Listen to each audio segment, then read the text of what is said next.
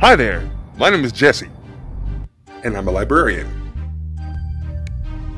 The FRCC library is open for students and staff to use. I'm going to explain to you how the library is operating since COVID 19.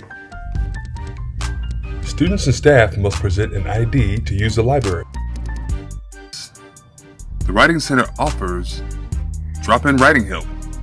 It is a one on one assistance provided by the English department faculty to help you write better papers.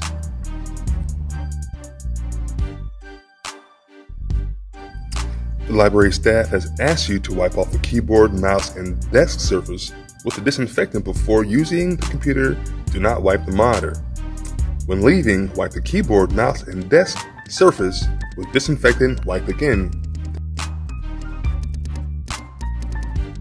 And if you need help resetting your password, you can reset your password here in the library.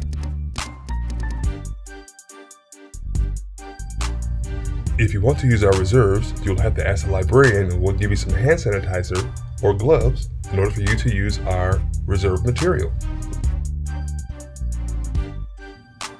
We have printers, both black and white and in color. We also have a copy machine.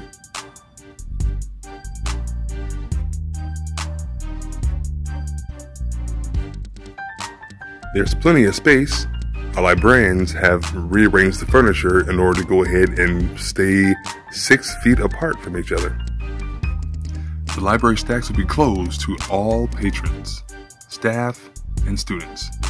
If you would like to have a book, please go to the front desk and we'll pull it for you.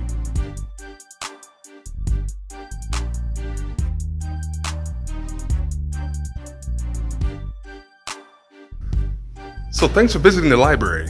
Hope to see you here. When you visit the library, make sure you have one of these things a mask. Ta ta.